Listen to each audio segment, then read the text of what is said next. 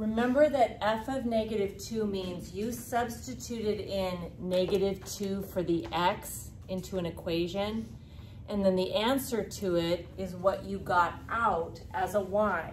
So another way of writing this, it's, it's a point where the x coordinate is negative 2. Because f of x, the x is negative 2.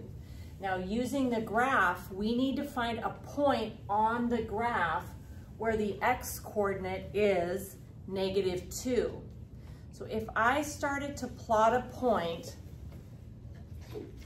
and I plot this point and the first part is negative 2, which way would I go?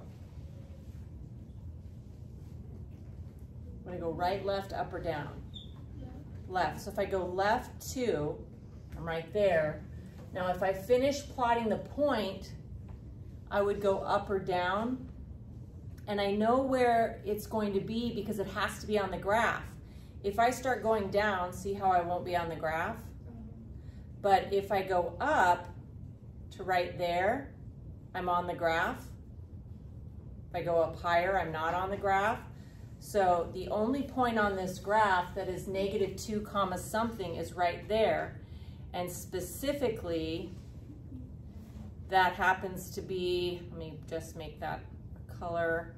Um, it is the number one, it's the location. So that means the answer to,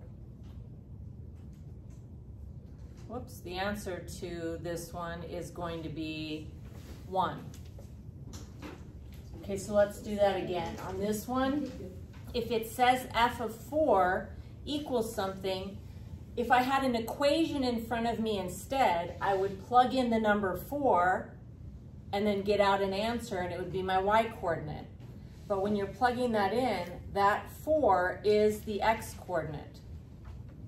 So I need to go to my graph to figure out what is the y coordinate.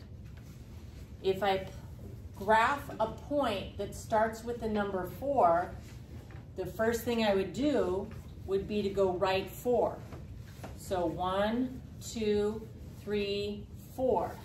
Now if I finish plotting the point and the point is on the graph, the only way that happens is if I go up one, two.